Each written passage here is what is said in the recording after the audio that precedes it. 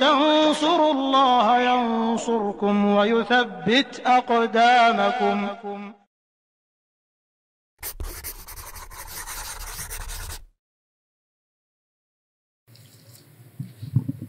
بسم الله الرحمن الرحيم.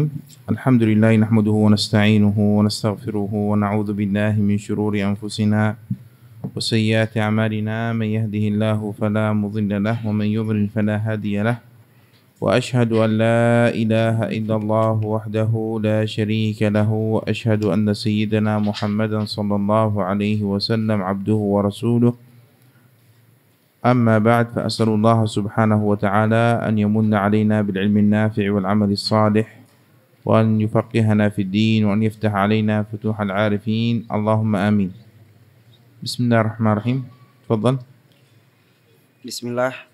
الحمد لله والصلاة والسلام على رسول الله وعلى آله وصحبه ومن والاه ولا حول ولا قوة إلا بالله أما بعد ثم قال حفظه الله تعالى صلاة الجماعة نعم وتجب على الرجال البالغين الأحرار في الصلوات الخمس صلاة الجماعة على الكفاية أي فرض كفاية وهو مهم قصد الشارع حصوله من غير نظر بالذات لفاعله أما في الجمعة فهي فرض عين وتكون الجماعة مسنونة في نحو العيدين والكسوفين ومباحة في الرات ومباحة في الرواتب في كل محل بحيث يظهر الشعار بإقامتها. فلو أقامها الناس جماعة في بيوتهم لم يسكت فرض الكفاية عنهم. قال رحمه الله تعالى صلاة الجماعة. قال وتجب على الرجال البالغين الأحرار في الصلوات الخمس. أي تجب صلاة الجماعة على الرجال البالغين الأحرار. فالرجال يخرج النساء فالجماعة بالنسبة للنساء مستحبة. البالغين الأحرار المقيمين لأن الجماعة للمسافرين مستحبة ليست فرض كفاية. قال وتجب على الرجال البالغين الأحرار في الصلوات الخمس. أما الجماعة في غير الصلوات الخمس ففيها تفصيل فقد تكون فرض عين كما هي في صلاة الجمعة. والجماعة في الجمعة فرض عين في الركعة الأولى. الجماعة في الجمعة فرض عين في الركعة الأولى. فلو أنهم في الركعة الثانية نووا المفارقة وأتم كل واحد الصلاة بنفسه صحت الصلاة. صحت الجمعة. قال صلاة الجماعة على الكفاية وما معنى فرض الكفاية؟ قال هو مهم قصد الشارع حصوله من غير نظر بالذات لفاعله أي أن فرض الكفاية ما يقصد الشارع أن يحصل من غير النظر إلى الفاعل وإنما النظر إلى الفعل.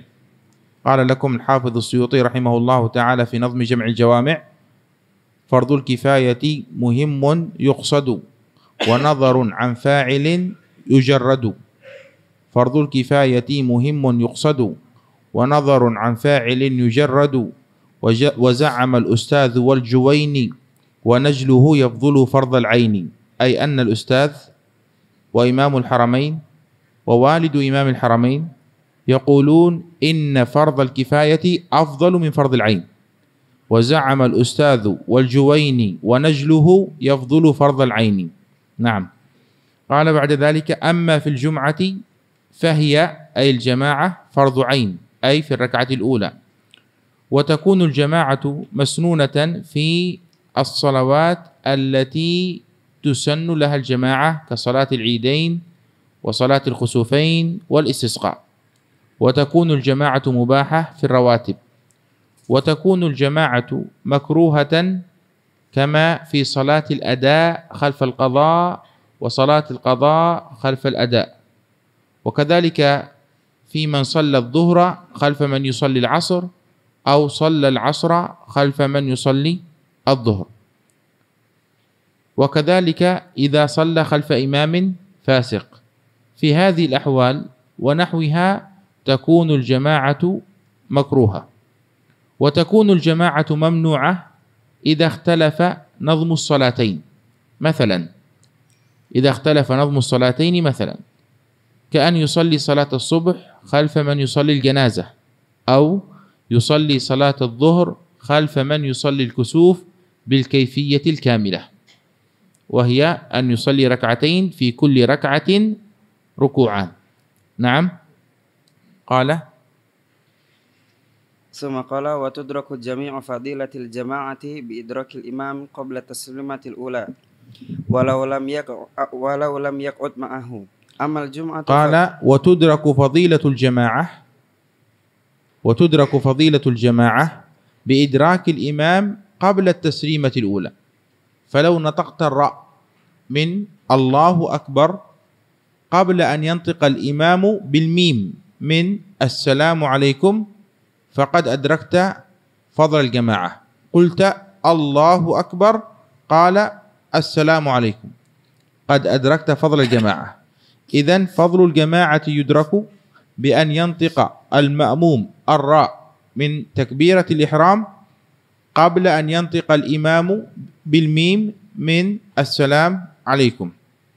قال وتدرك جميع فضيلة الجماعة بإدراك الإمام قبل التسليمة الأولى ولو لم يقعد معه. أي ولو كنت لازلت في حالة القيام. أما الجمعة؟ أما الجمعة؟ أما الجمعة فتدرك بركعة. أما الجمعة فتدرك بركعة. فإذا جاء المأموم إذا جاء المسبوق والإمام قد رفع من الركوع في الركعة الثانية أي صار الإمام معتدلا في الركعة الثانية فإن الجمعة قد فاتت على ذلك الشخص وعليه أن يصلي ظهرا. نعم؟ وأقلها أي الجماعة في غير الجمعة كما سيأتي إمام ومأموم. وكثرة الجمع مستحبة إلا في سوار. قال وأقلها أي وأقل الجماعة إمام ومأموم أي اثنان. وأما الجمعة فأقل عدد تنعقد به الجمعة أربعون كما سيأتي. وكثرة الجمع مستحبة إلا في صور. كان يكون الإمام فاسق مثلا إمام الجماعة الكثيرة فاسق وإمام الجماعة القليلة عدل فالجماعة القليلة أفضل من الجماعة الكثيرة. هذا من الصور. واضح؟ إذا كان عندنا مسجدان. مسجد جماعته كثيرة لكن إمامه فاسق. ومسجد جماعته قليلة لكن إمامه عدل. فالجماعة القليلة أفضل من الجماعة الكثيرة التي إمامها فاسق. واضح؟ نعم. تفضل. أحسن الله إليكم. ثم قال ثم ذكر جملة من شروط القدوة وهي قال ثم ذكر جملة من شروط القدوة والمراد بشروط القدوة أي شروط صحة الصلاة جماعة. شروط صحة الصلاة جماعة. نعم. أولا عدم اقتداء الرجل بالمرأة. فقال رحمه الله تعالى لكن لا يقتدي الرجل بامرأة فلا تصيح صلاته خلفها بخلاف صلاة المرأة خلف المرأة والرجل أو المرأة خلف الرجل فتصيح عندك أربع صور. إذا كان الرجل إماما فصلى خلفه رجل تصح الصلاة. إذا كان الرجل إماما وصلت خلفه امرأة تصح الصلاة. إذا كانت المرأة إمامة فصلى خلفها رجل لا تصح. إذا كانت المرأة إمامة فصلت خلفها امرأة تصح الصلاة. فعندنا أربع صور ثلاث صور تصح وصورة واحدة لا تصح وهي أن تكون المرأة إمامة والرجل مأموما. قال الثاني عدم الثاني الثاني عدم اقتداء القارئ بالأمي. عدم اقتداء القارئ بالأمي. تعريف القارئ القارئ هو الذي يحسن الفاتحة. من كان يحسن الفاتحة يسمى قارئا وإن كان لا يحسن غيرها. ومن كان لا يحسن الفاتحة يسمى أميا. حتى وإن كان يتكلم بعدة لغات مثلا ما دام أنه لا يحسن الفاتحة يسمى أميا. وبالتالي نقول لا تصح صلاة القارئ الذي يحسن الفاتحة خلف خلف أمي لا يحسن الفاتحة. واضح؟ لا تصح صلاة قارئ خلف أمي. وهل تصح صلاة أمي خلف أمي؟ نقول إذا اتحدا في الحرف المعجوز عنه صحت. وإن اختلفا في الحرف المعجوز عنه لا تصح. إن اتحدا في الحرف المعجوز عنه مثلا هذا يعجز عن نطق حرف السين. فينطق السين زايا. تمام؟ وذاك عاجز عن نطق حرف السين فينطق السين صادا. تمام؟ نقول هذا وهذا اتحدا في الحرف المعجوز عنه وهو السين. حتى وإن كان هذا يبدله بحرف وهذا يبدله بحرف آخر. لكن الحرف المعجوز عنه واحد. إذا لو صلى أحدهما بالآخر صحت الصلاة. لكن إذا كان هذا يعجز عن النطق بحرف الغين وذاك يعجز عن النطق بحرف السين مثلا فلا يصح أن يصلي أحدهما بالآخر. تمام؟ قال هنا عدم عدم اقتداء القارئ بالأمي فقال رحمه الله تعالى ولا تصح صلاة من يعرف الفاتحة ويسمى قارئا بمن يغير حرفا منها ويسمى أميا. وتصح صلاة العدل خلف الفاسق والبالغ خلف المراهق. تصح صلاة العدل خلف الفاسق مع الكراهة. وتصح صلاة البالغ خلف المراهق أي خلف الصبي المميز الذي لم يبلغ يسمى مراهقا. وتصح صلاة الحر خلف العبد. ولذلك قال لكم صاحب الزبد رحمه الله تعالى يؤم عبد وصبي يعقل وفاسق لكن سواهم أفضل لا امرأة بذكر ولا المخل بالحرف من فاتحة بالمكتمل. واضح؟ قال يا أم عبد وصبي يعقل وفاسق لكن سواهم أي الحر والبالغ والعدل أفضل لكن سواهم أفضل. لا امرأة بذكر أي لا تصح إمامة المرأة بالذكر. لا امرأة بذكر ولا المخل بالحرف من فاتحة بالمكتمل أي الأمي لا يصح أن يكون إماما لقارئ. فإذا صلى القارئ خلف أمي فصلاة القارئ باطلة. نعم.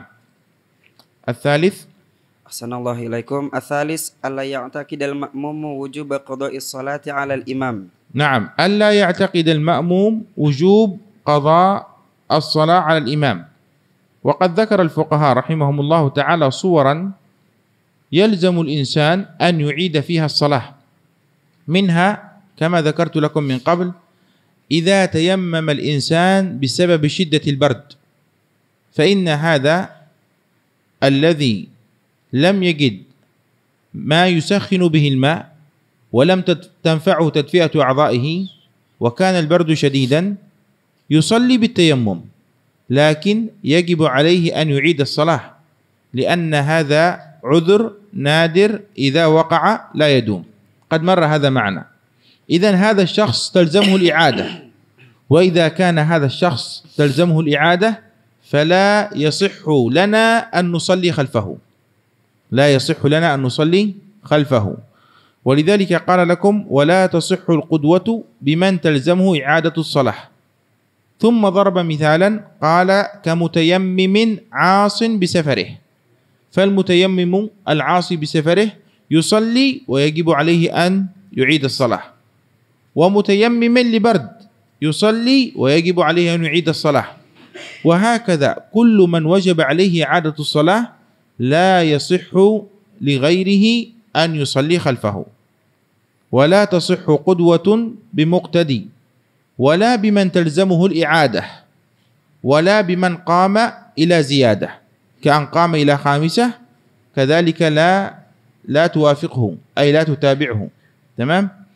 قال هنا ولا تصح القدوة. تفضل. فقال ولا تصح القدوة بمن تلزمه إعادة الصلاة كمتيمم عاص بسفره ومتيمم لبرد ومن كانت جبيرته على عضو تيمم كذلك من كانت جبيرته على عضو تيمم يجب عليه أن يصلي ثم بعد أن تزال الجبيرة عليه أن يعيد الصلوات واضح؟ وهذا لم نذكره في درس التيمم في هذا الكتاب لكن إن شاء الله إذا قرأنا كتابا آخر أوسع من هذا نذكر هذا إن شاء الله. تمام أولا أو تريدون الآن؟ نقول. لكن سأذكره مرة واحدة فقط. انتبه معي. نقول بارك الله فيكم. الجبيرة. إما أن تكون على عضو تيمم أو تكون على غير عضو تيمم. حالتين. إما أن تكون الجبيرة على عضو تيمم أو تكون الجبيرة على غير عضو تيمم. أعضاء التيمم الوجه واليدين المرفقين. فإما أن تكون الجبيرة على عضو تيمم أو تكون الجبيرة على غير عضو تيمم. فإن كانت الجبيرة على عضو تيمم وجب عليه إعادة الصلاة مطلقا. انتهينا؟ وإن كانت الجبيرة على غير عضو تيمم ننظر. هل أخذت الجبيرة قدر العلة فقط؟ قدر الجرح فقط؟ كأن يكون مثلا هذا الجرح لا عفوا على غير عضو تيمم أن تكون في القدم مثلا. تمام؟ فإن كانت الجبيرة أخذت قدر الجرح فقط كأن يضع المرهم أو الكريم على الجرح فقط. هذه الحالة الأولى. أن تكون الجبيرة أخذت قدر الجرح فقط. الحالة الثانية أن تكون الجبيرة أخذت أكثر من قدر الجرح من أجل الاستمساك. واضح؟ الحالة الثالثة أن تكون الجبيرة أخذت من الجرح زيادة على قدر الاستمساك. كم صارت الحالات؟ ثلاث. أن تكون الجبيرة على قدر الجرح. أن تأخذ الجبيرة أكثر من قدر الجرح للاستمساك. أن تأخذ الجبيرة زيادة على قدر الاستمساك.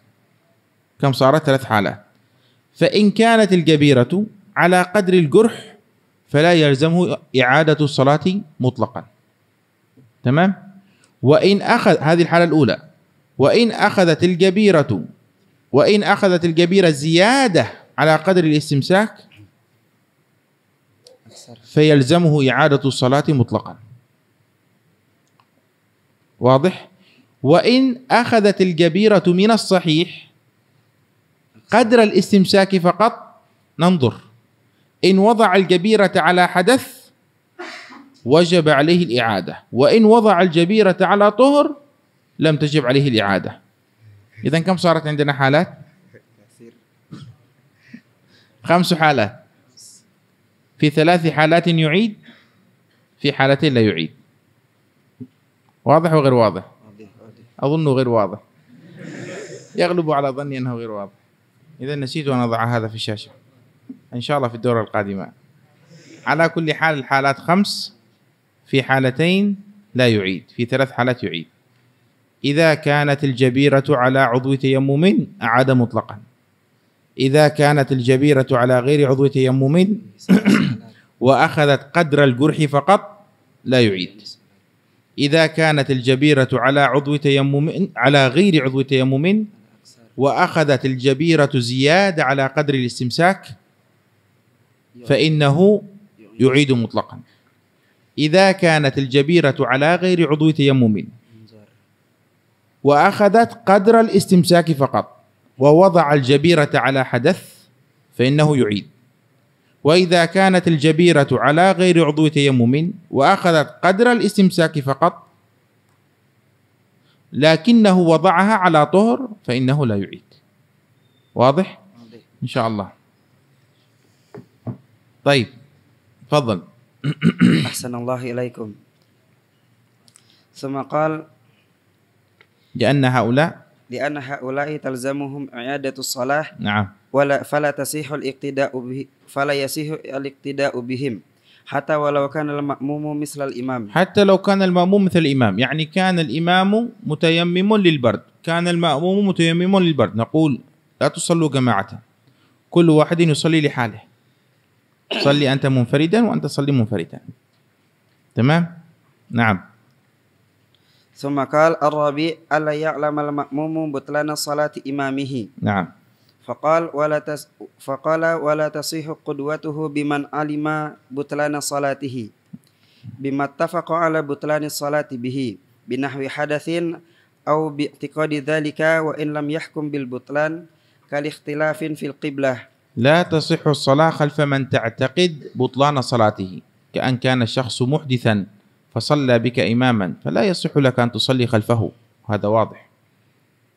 سواء كان هذا باتفاق على بطلان الصلاة كالصلاة خلف المحدث أو باجتهاد. كأن اختلفتم كنتم لا تعلمون القبلة. أنت وهو لا تعلمون القبلة. فهو قال القبلة هنا وأنت قلت القبلة هنا. واضح؟ أنت تعتقد أنت تعتقد أن اجتهاده غير صحيح وهو يعتقد أن اجتهادك غير صحيح. إذا لا يصلي أحدكما بالآخر. ولذلك قال هنا وإن لم يحكم بالبطلان.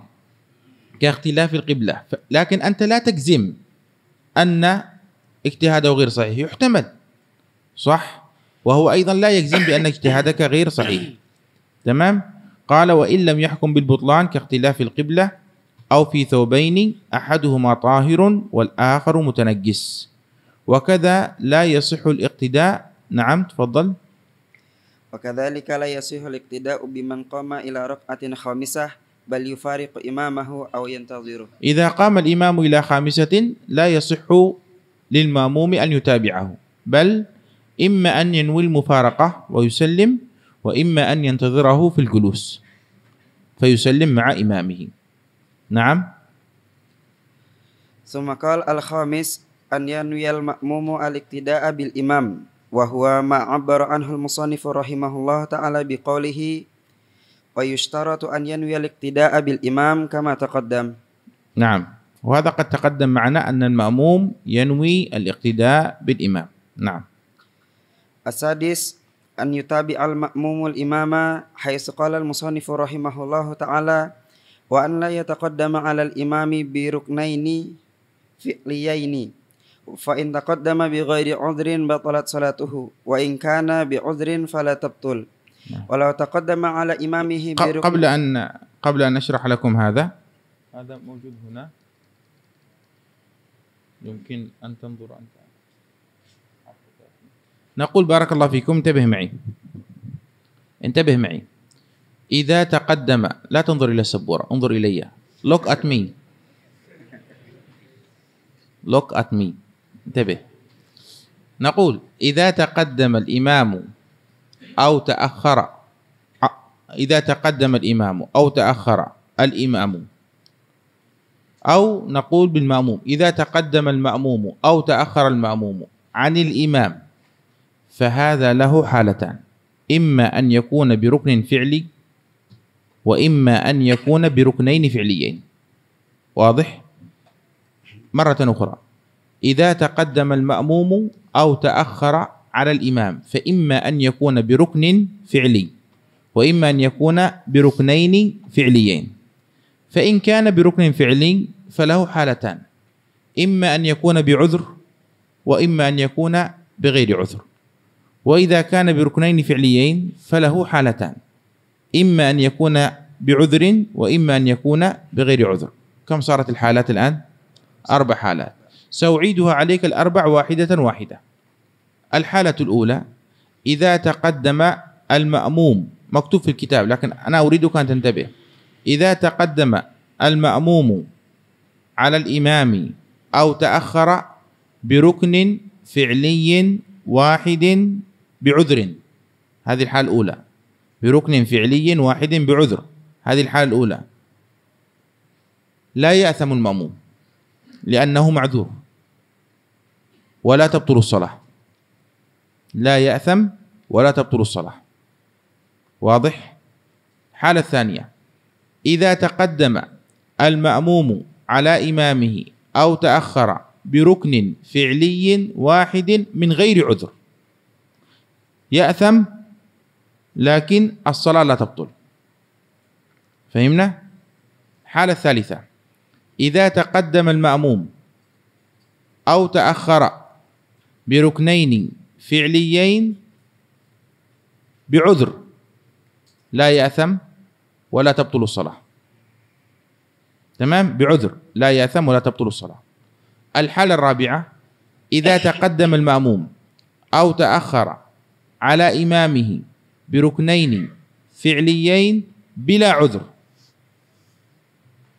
يأثم وتبطل الصلاة. إذن الحالة التي فيها بطلان هي إذا تقدم المأموم أو تأخر المأموم على إمامه بركنين فعليين من غير عذر. هنا يأثم وتبطل الصلاة. واضح وغير واضح؟ وهذا الذي ترونه أمامكم على السبورة. إذا تقدم أو تأخر عنه بركن فعلي إذا كان بعذر فلا يأثم ولا تبطل الصلاة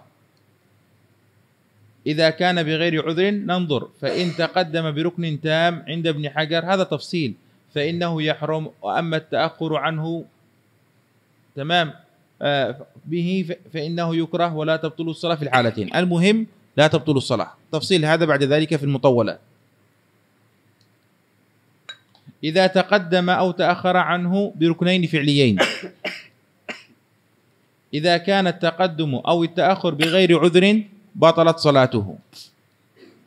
إذا كان بعذر كسهو أو جهل لم تبطل صلاته. إذا ما الحالة التي تبطل فيها الصلاة؟ إذا تقدم أو تأخر بركنين فعليين بلا عذر. يأثم وتبطل الصلاة. واضح؟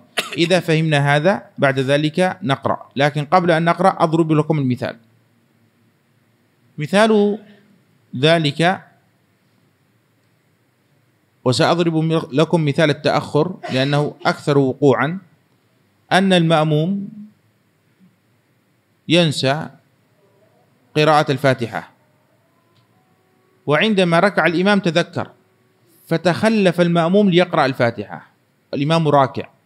اعتدل الإمام ولا زال المأموم قائما. سجد الإمام ولا زال المأموم قائما. إذا بكم حصل التخلف؟ بالركوع والاعتدال بركنين فعليين صح؟ هذا بعذر لأن صاحبنا هذا نسي قراءة الفاتحة. إذا هنا لا تبطل صلاته ولا يأثم لأنه بعذر. أما لو تخلف عن الإمام من غير عذر فالإمام ركع واعتدل وهوى إلى السجود وصاحبنا لا زال في القيام من غير عذر فإن صلاته تبطل. واضح؟ هذا صورة التخلف عن الإمام بركنين فعليين. وأما بركن واحد بركن واحد كأن كان المأموم قائما فركع الإمام واعتدل الإمام ولا زال هذا قائما. واضح؟ فإن كان معذورا لا يأثم وطبعا لا تبطل الصلاة وإن كان غير معذور يأثم والصلاة صحيحة. تمام؟ نعم. تفضل لو سمحت. أحسن الله إليكم. ثم قال أن يتابع المأموم الإمام حيث قال المصنف رحمه الله تعالى وأن لا يتقدم على الإمام بركنين فعليين فإن تقدم بغير عذر بطلت صلاته. وإن كان بعذر فلا تبطل. ولو تقدم على إمامه بركن فعلي واحد فلا تبطل وإن كان عامدا لكنه يأثم. انظر ولو تقدم على إمامه بركن فعلي واحد واحد فلا تبطل صلاته. وإن كان عامدا أي وإن لم يكن بعذر لا تبطل صلاته. لكن إذا كان عامدا يأثم. تمام؟ طبعا هذا الكلام إذا كان في غير تكبيرة الإحرام. ولذلك قال إلا إلا إذا تقدم بتكبيرة الإحرام أو السلام فتبطل. نعم إذا تقدم بتكبيرة الإحرام أو السلام تبطل الصلاة. نعم. بل لو قارن إمامه في بعض تكبيرة الإحرام لم تنعقد صلاته. نعم لم تنعقد صلاته وهذا قد نبهتكم عليه عندما ذكرت لكم شروط تكبيرة الإحرام وقلت لكم إن شروطها عشرون. دخول لوقت واقتران بنية وفي قدوة أخر. وفي قدوة أخر أي أن المأموم يؤخر تكبيرة الإحرام عن تكبيرة إمامه.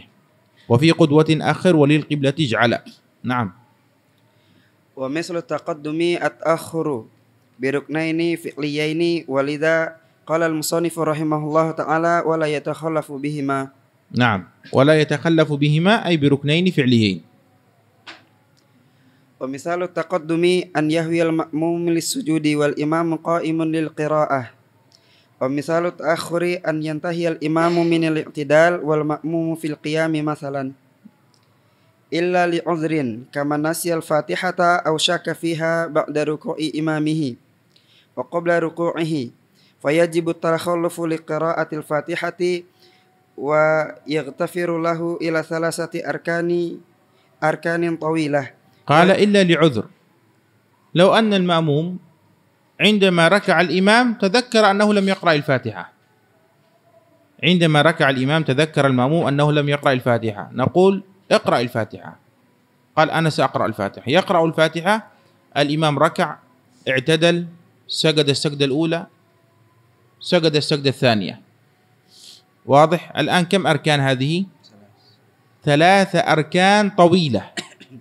لا تحسب منها لا تحسب منها الاعتدال ولا تحسب منها الجلوس بين السجدتين.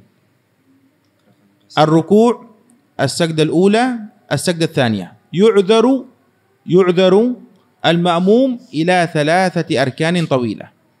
لو أن المأموم فرغ انتهى من الفاتحة والإمام لا زال في السجود مباشرة يأتي بما فاته ويدرك الإمام. لكن لو أن الإمام قام إلى الركعة التالية وصاحبنا لا زال في فاتحة الركعة السابقة نقول إذن أنت أيها المأموم حينئذ خلاص تدخل مع الإمام وتكمل وتأتي بركعة في آخر صلاتك. طيب يقول أنا قد قرأت أنا قد قرأت نصف الفاتحة أعيد قراءة الفاتحة أو أكمل؟ لا نقول تبني على ما قرأت. تبني على ما قرأت. واضح؟ وهذا ما سيذكر لكم الآن هنا. قال أذان. تأذن لما؟ طيب تفضل. وهي في و... ثم قال ويغتفر له إلى ثلاثة أركان طويلة مم. وهي الركوع والسجدتان دون الاعتدال والجلوس بين السجدتين. لو لو تعيد من قوله أو آه كمن نسي الفاتحة. صلى الله إليكم. إلا لعذر كمن نسي الفاتحة أو شك فيها بعد ركوع إمامه وقبل ركوعه فيجب التخلف لقراءة الفاتحة ويغتفر له إلى ثلاثة أركان طويلة. وهي الركوع والسجدتان دون الاعتدال والجلوس بين السجدتين. لأن الاعتدال والجلوس بين السجدتين ركنان قصيران. نعم. فإن أكمل الإمام السجدة الثانية فإن المأموم إما ينوي المفارقة. قال فإن أكمل الإمام السجدة الثانية. الإمام أكمل السجدة الثانية وقام. والمأموم لا زال قائما في قيام الركعة السابقة. قال فإن أكمل الإمام السجدة الثانية فإن المأموم له خياران. ما هما؟ الخيار الأول إما أن ينوي المفارقة ويكمل الصلاة منفردا. والخيار الثاني أنه يستمر مع الإمام في صلاته ويبني على قراءته ويأتي بركعة في آخر صلاته. نعم. قال فإن المأموم قال فإن المأموم إما ينوي المف... ينوي المفارقة ويكمل صلاته منفردا أو يوافق الإمام فيما هو فيه ويأتي بركعة بعد سلامه. وإذا وافقه بنى على ما قرأه. بنى على ما قرأه. أي لا يستأنف القراءة من البداية مرة أخرى بل يبني على ما قرأ. نعم. فإن لم يفعل بطلت صلاته بركوع إمامه للثانية نعم. فإن لم يفعل وركع الإمام بطلت صلاة المأموم. واضح؟ قال أما أما لو ركع الإمام الآن وال- انظر صورة هذه المسألة أن الإمام ركع والمأموم لا زال قائما وقبل أن يركع المأموم شك أو تذكر أنه لم يقرأ الفاتحة. إذا نقول يجب عليك أن تتأخر لتقرأ الفاتحة. إذا متى تذكر المأموم أنه لم يقرأ الفاتحة؟ وهو لا زال وهو لا زال قائما. قبل أن يركع المأموم. الإمام ركع نعم. ركع الإمام لكن المأموم لا زال قائما. عندما ركع الإمام تذكر المأموم أنه لم يقرأ الفاتحة. هذه الصورة الأولى. الصورة الثانية أما لو ركع الإمام والمأموم ركعا معا. ركع الإمام وركع المأموم. والمأموم في أثناء الركوع شك هل قرأ الفاتحة أو لم يقرأ. متى شك؟ في أثناء الركوع. هذا غير المسألة السابقة. تمام؟ قال أما لو ركع المأموم و... أما لو ركع الإمام والمأموم ثم شك المأموم في قراءة الفاتحة فإنه يأتي بركعة بعد سلام إمامه. يأتي بركعة بعد سلام إمامه. واضح؟ أي لا يعود للقيام ليقرأ الفاتحة بل يكمل مع الإمام ثم بعد أن يسلم إمامه يأتي بركعة بدل ما فاته. نعم. للشك, للشك في للشكه في قراءة الفاتحة. نعم. قال أما لو ركع أما لو ركع الم... أما لو ركع الإمام والمأموم ثم شك المأموم في قراءة الفاتحة نعم. فإنه يأتي بركعة بعد سلام إمامه ويسجد لسهوه لاحتمال الزيادة. نعم. أو كان بطيء القراءة فيتمها ويعذر إلى تمام الركعة فإن أتم الإمام ركعة وهو أي المأموم فيها لا زال في قراءة الفاتحة وافقه أي وافق المأموم الإمام. وأتى بركعة بعد سلام الإمام. نعم. وإن أتمها أي الفاتحة قبل فراغ الإمام من الركعة بأن كان الإمام ساجدا مثلا ركع وركع ووافق الإمام. واضح أو لا؟ نفس الكلام السابق. نفس الكلام السابق. الإمام ركع. الماموم تذكر أنه لم يقرأ الفاتحة. أو شك في أنه قرأ الفاتحة أو لم يقرأ الفاتحة. نقول للماموم إذا تتأخر لقراءة الفاتحة. الإمام راكع. فالماموم يقرأ الفاتحة. الإمام اعتدل. الإمام سجد. السجدة الأولى. السجدة الثانية. نقول إذا انتهيت أيها المأموم والإمام في السجود فاركع واعتدل وادركه في السجود. واضح؟ أما إذا كان الإمام قد قام فأنت أيها المأموم حينئذ توافق الإمام. إن لم تنوي المفارقة توافق الإمام ثم تأتي بركعة بعد سلام الإمام. نعم. تفضل. وإذا؟ و وإذا اشتغل الموافق وإذا اشتغل الموافق بسنة كدعاء الاستفتاح فركع الإمام وهو لا يز وهو لا زال في الفاتحة. عذر كما تقدم. قال وإذا اشتغل الموافق. من الموافق؟ الموافق هو من أدرك مع الإمام قدر الفاتحة. الموافق هو من أدرك مع الإمام قدر الفاتحة. سيأتي معكم في الكتاب. الموافق من أدرك مع الإمام قدر الفاتحة. نفترض على سبيل المثال الموافق بارك الله فيكم. إذا اشتغل وقلت لكم الموافق هو من أدرك مع الإمام قدر الفاتحة. جيت أو دخلت مع الإمام سواء جيت وأدركت قدر الفاتحة أو دخلت مع الإمام من البداية. واشتغلت بقراءة دعاء الاستفتاح والتعوذ وبدأت أقرأ الفاتحة مثلا فقرأت بسم الله الرحمن الرحيم الحمد لله رب العالمين ركع الإمام. واضح؟ حينئذ حكمي ما تقدم أنه أنني أتخلف أتأخر لإكمال قراءة الفاتحة ثم أدرك الإمام.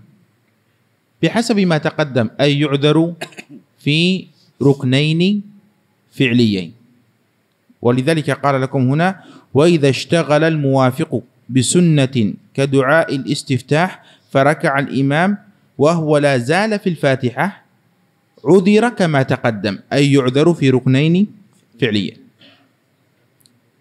إلى ثلاثة أركان طويلة نعم. إلى ثلاثة أركان طويلة.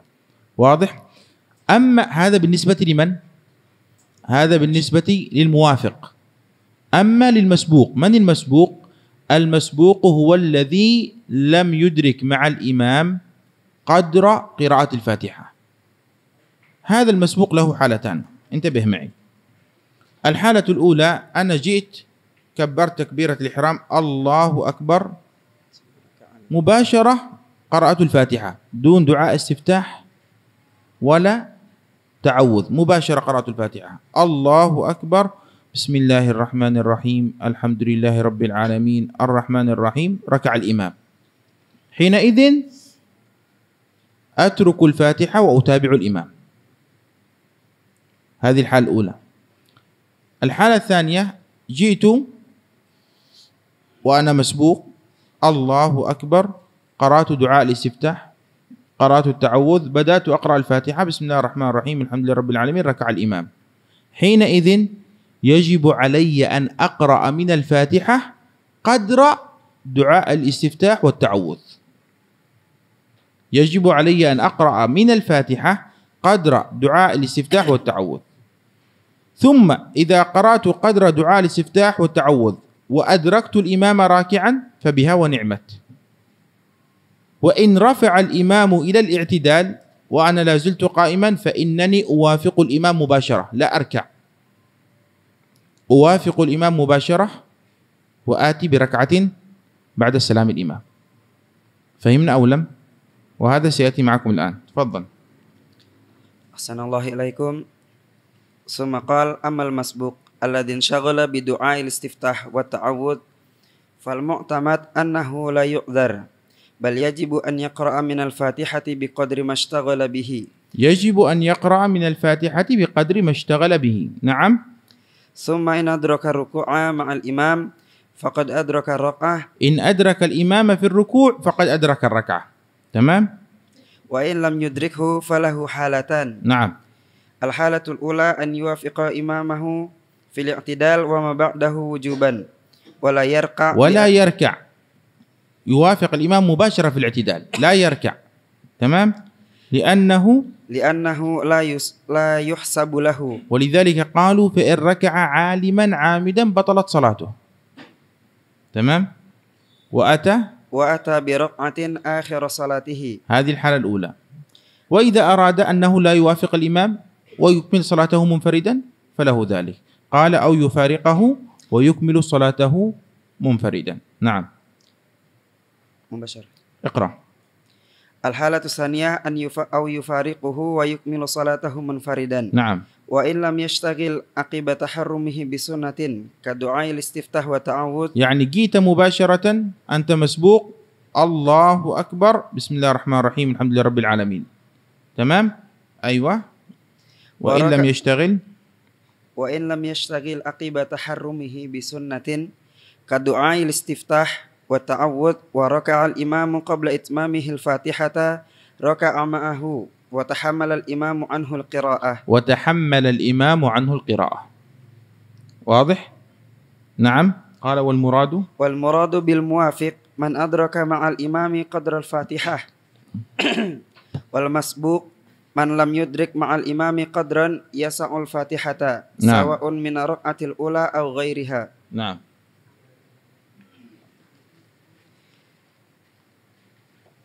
بعد ذلك قال؟ ثم بعد ذلك قال أن يتوافق نظم الصلاتين. أي من شروط الجماعة أن يتوافق نظم الصلاتين وهذا كما ذكرت لك أن الجماعة قد تكون ممنوعة أي محرمة أي لا تصح الصلاة فيها وذلك إذا اختلف نظم الصلاتين كأن صلى صلاة الصبح خلف من يصلي الجنازة أو صلى صلاة الظهر خلف من يصلي صلاة الكسوف بالكيفية الكاملة. نعم. أن يتوافق نظم الصلاتين كما قال المصنف وأن يتوافق نظم صلاة الإمام والمأموم فيصح مع الكراهة. الفرض الفرض خلف النفل والظهر خلف العصر ال- قال مع الكراهة الفرض خلف النفل الظهر خلف العصر وعكس ذلك. تمام؟ وإن كان بعضهم يقول في الفرض خلف النفل يقول ليس مكروها وإنما خلاف الأولى وبعضهم يقول مكروه. تمام؟ لكن في الظهر خلف العصر وفي الأداء خلف القضاء وفي القضاء خلف الأداء هذا مكروه. نعم؟ ومثل هذا الأداء خلف القضاء فلا يشترط التوافق في النية ولا عدد الركعة لا يشترط التوافق في النية في مذهب الشافعي وأحمد وإن كان يشترط ذلك في مذهب أبي حنيفة ومالك. ولا يشترط التوافق في عدد الركعات ولذلك يصح أن يصلي الإنسان المغرب خلف من يصلي العشاء وأن يصلي العشاء خلف من يصلي المغرب وأن يصلي الصبح خلف من يصلي الظهر وأن يصلي الظهر خلف من يصلي الصبح مع أن عدد الركعات غير متوافق يصح ذلك. نعم. أما لو اختلف نظم صلاتين كمغرب خلف كسوف وصبح خلف جنازة فلا تصح. نعم. ثم السابق من شروط القدوة أن لا يتقدم المأموم على إمامه في المكان يقينا. ألا يتقدم المأموم على إمامه في المكان يقينا. والعبرة بالتقدم إذا كان قائما بالعقب. بالعقب.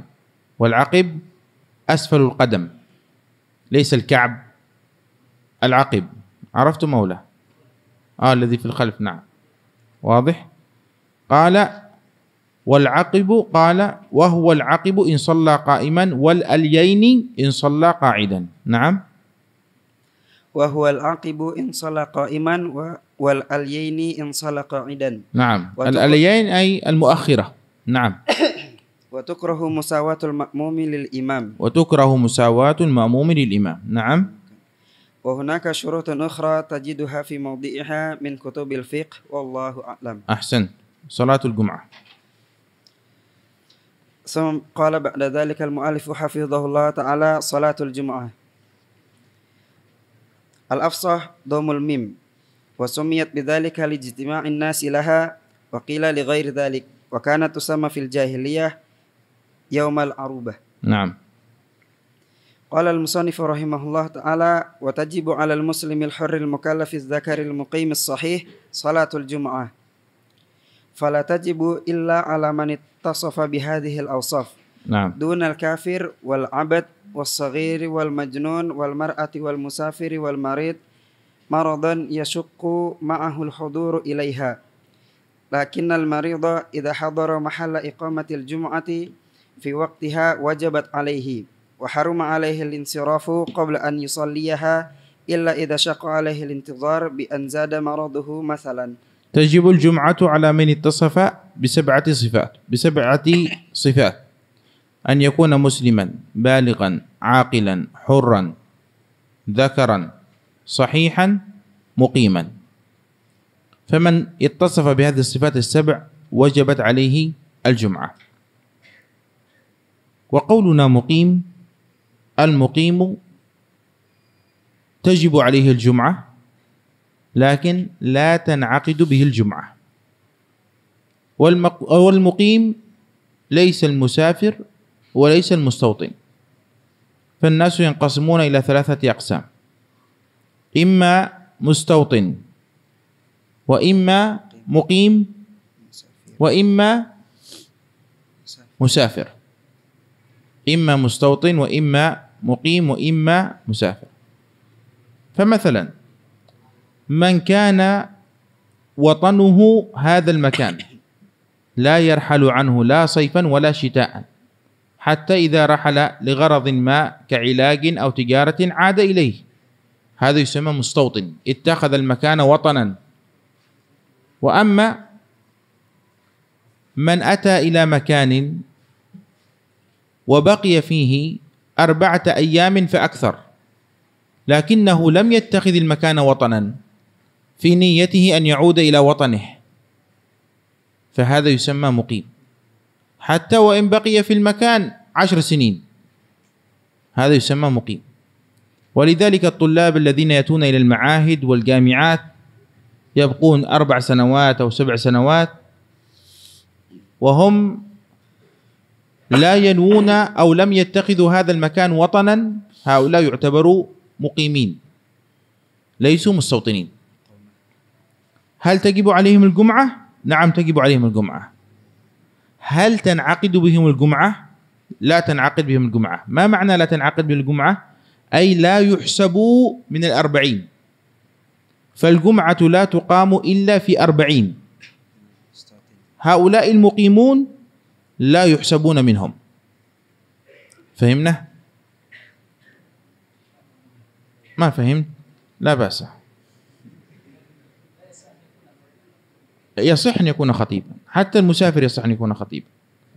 لكن لا يحسب من أربعين يعني أعطيك مثال. في المعهد الذي أنا فيه في جوكجاكرتا إذا عاد الطلاب إلى إلى بيوتهم نبقى نحن وأنا مقيم أصلا. أنا لست مستوطنا هنا. أنا سأعود إلى اليمن إن شاء الله. نبقى نحن الذين يعني يبقى من هم مستوطنون الذين بيوتهم في المعهد قليلون. لا لا يجاوزون العشرة اللي هم مستوطنون. بالتالي على مذهب الإمام الشافعي هؤلاء لا تصح جمعتهم. حتى حتى مع وجود الطلاب. حتى مع وجود الطلاب لا تصح جمعتهم.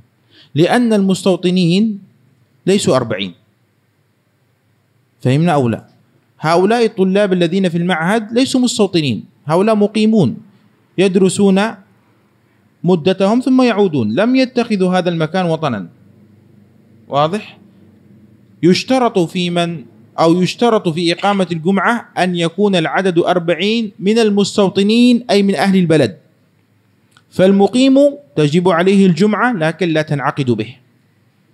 المسافر لا تجب عليه الجمعة ولا تنعقد به. إذا صار عندنا كم؟ أقسام ثلاثة. المستوطن تجب عليه الجمعة وتنعقد به. المسافر لا تجب عليه الجمعة ولا تنعقد به.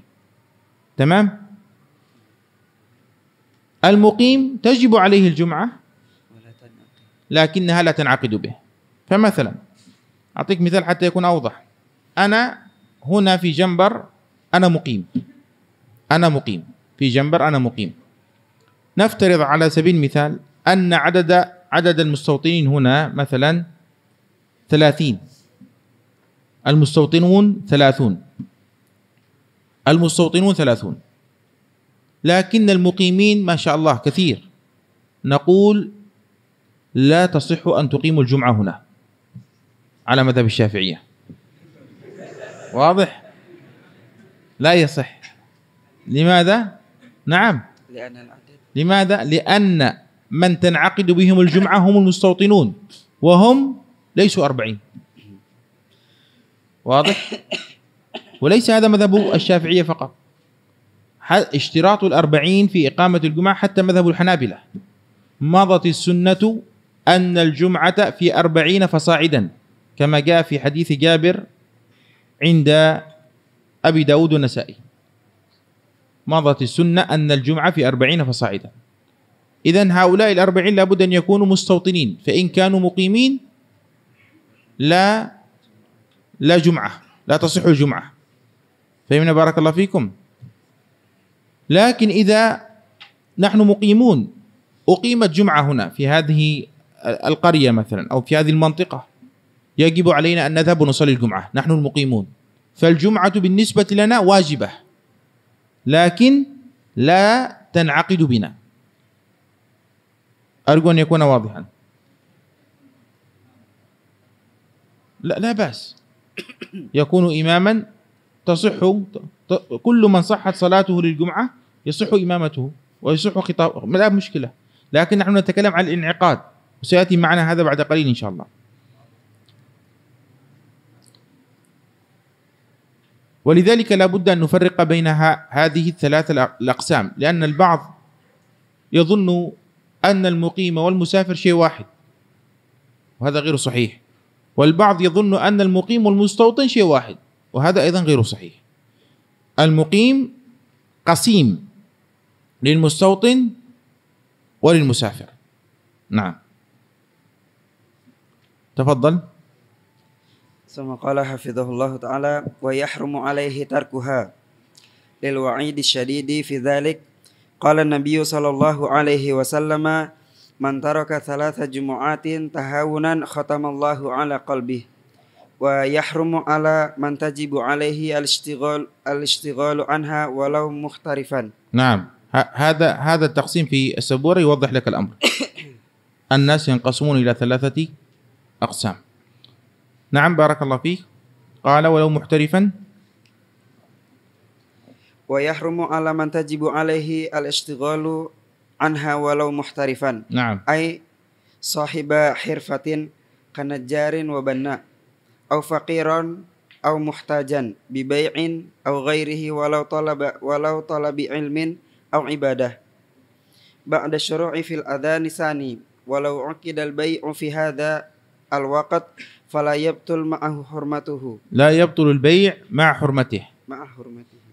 أي أن البيع حرام بعد الأذان الثاني يوم الجمعة لكنه إذا وقع فإن العقد صحيح. نعم.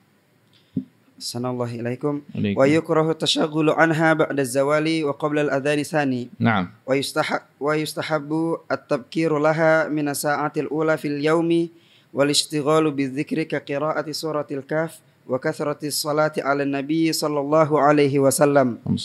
وتترك الجمعة بإدراك ركعة لأن الجماعة شرط فيها وتدرك الجمعة بإدراك ركعة لأن الجماعة شرط فيها نعم ولا يجوز له أي لمن وجبت عليه ممن اجتمعت فيه الشروط السابقة السفر ولو قصيرا من بلدها يوم الجمعة أي بعد الفجر إلا لبلدة أخرى تصلى فيها الجمعة. لا يجوز للإنسان أن يسافر يوم الجمعة بعد الفجر إلا إذا كان سيصلي الجمعة في طريقه كأن ينزل في قرية أو مدينة فيصلي فيها الجمعة. أما إذا أراد السفر وهو عازم أنه لا يصلي الجمعة فليسافر قبل الفجر. واضح؟ نعم.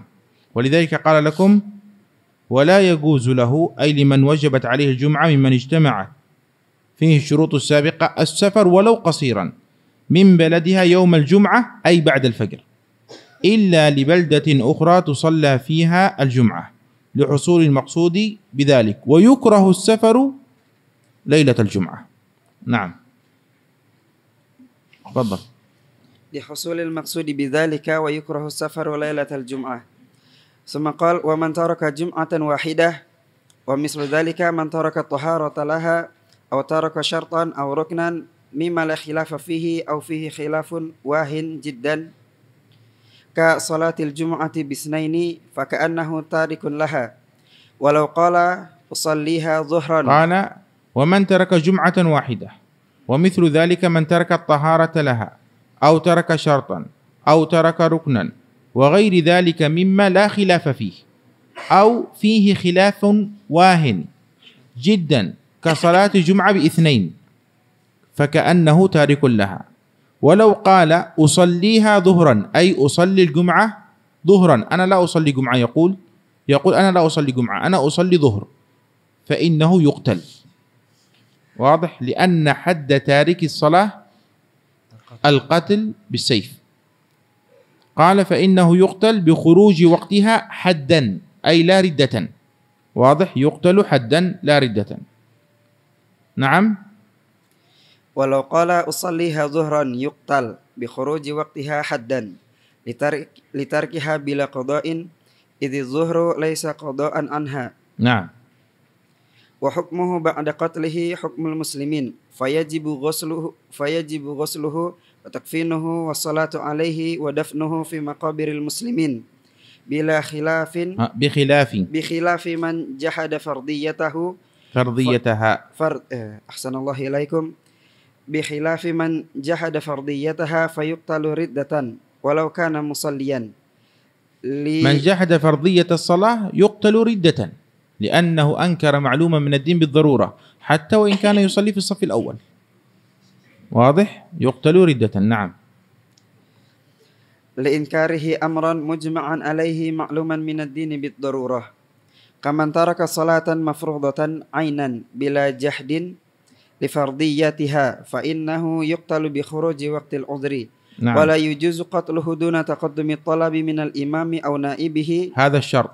ولا يجوز قتله دون تقدم الطلب من الإمام أو نائبه. فيقول له الإمام صلي. إن لم تصلي نقتلك. يقول لا أصلي. حينئذ يقتل. واضح؟ لا أن يبادر شخص إلى قتله قبل أن يطلب الإمام منه أن يصلي. الإمام أو نائب الإمام؟ نعم. قال بلا عذر. قال بلا عذر كنوم ونسيان وإكراه. نعم. ثم قال تتمة يشترط لصحة الجمعة شروط. جاء وقت الإقامة أو لا؟ ها؟ جاء وقت الإقامة. إذا هذه تتمة بعد صلاة العشاء إن شاء الله.